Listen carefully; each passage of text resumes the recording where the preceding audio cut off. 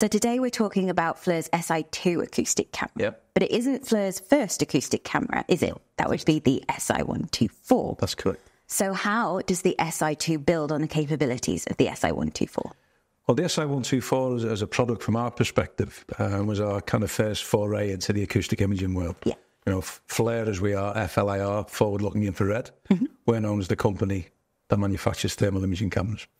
So we identified a technology which complemented the thermal side, being acoustic.